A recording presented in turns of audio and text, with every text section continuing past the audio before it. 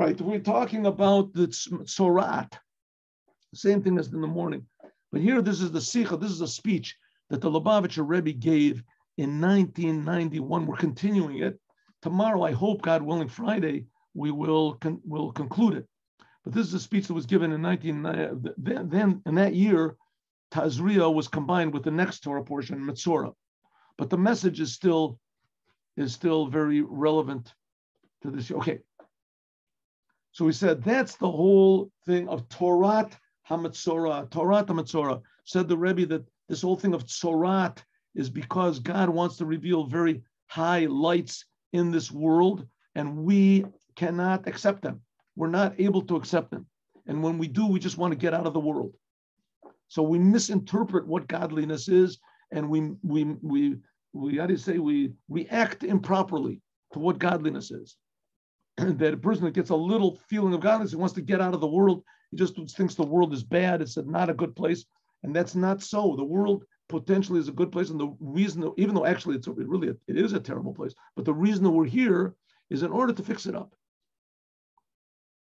So if the world gets you angry, you should know that oh, this is God giving me a challenge. I have to be positive when everybody else is negative.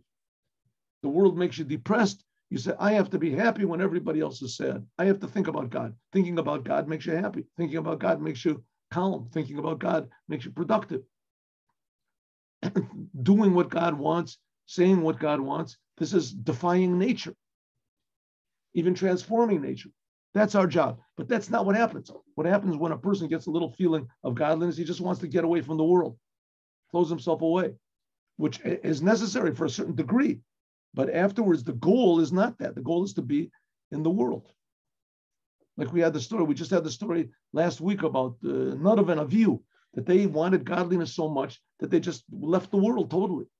They just died. That's what they wanted.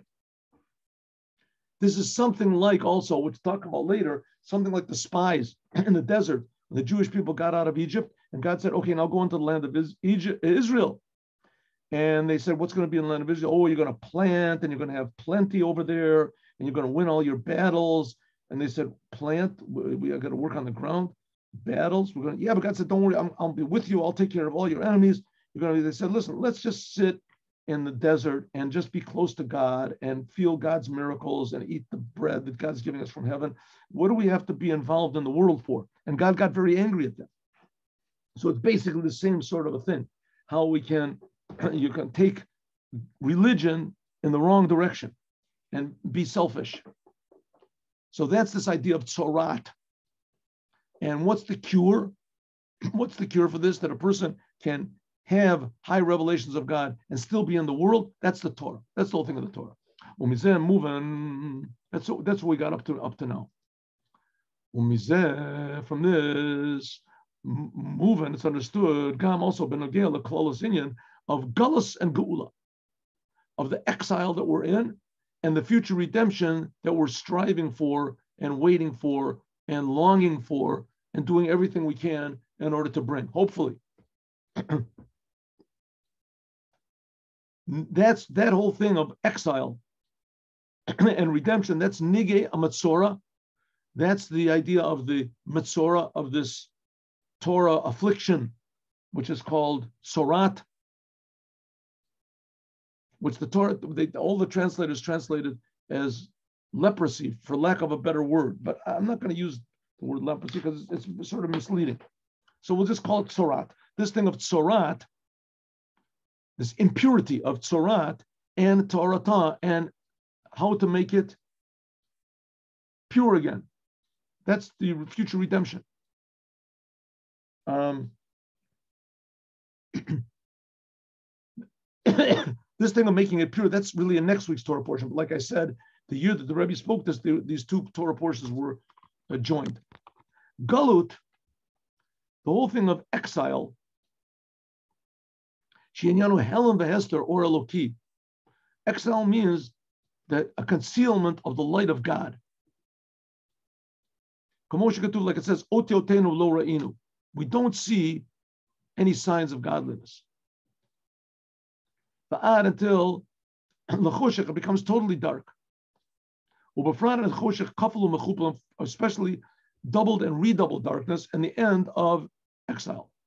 Mitzad shorshu makoro, because of its source, huinyan na'lavioter, it's very, very high. the darkness in the time of exile, that God can be concealed, really comes from a very, very high source. Orot Elyonim, what's called the highest of lights, that can't be revealed in vessels. Until it's totally above any revelation. The level which is called God makes darkness his hiding place. Godel haflas oros because of this tremendously high lights that are being revealed.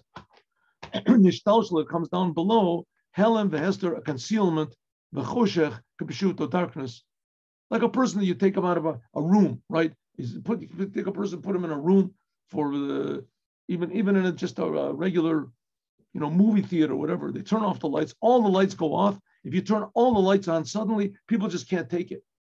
They just close their eyes. It's just too much. Light is a good thing. Uh, light is good. Right? God forbid to be blind. It's not good. But all too much light to be revealed at one time that a person can't take it, that also is blinding. Now that's what's going on now in the world. Says the Rebbe, there's so much light being revealed in the world that we just can't take it. We have the problem is not in the is God from God's side. The problem is from our side. We haven't got the vessels to receive it. From this comes all the bad things in the time of exile. Right? Jews are giving intelligence, but they don't know what to do with the intelligence. So they sink sinking in all sorts of, of, of strange, destructive things. Sometimes self-destructive things. Right? They're given the, the, the success, they're given money, they're given what they don't know what to do with it. They're given health. They don't know what to do. What could, and all these wonderful things are given to us, and we don't know what to do with them, so it just spills over. It's just Kavan sin,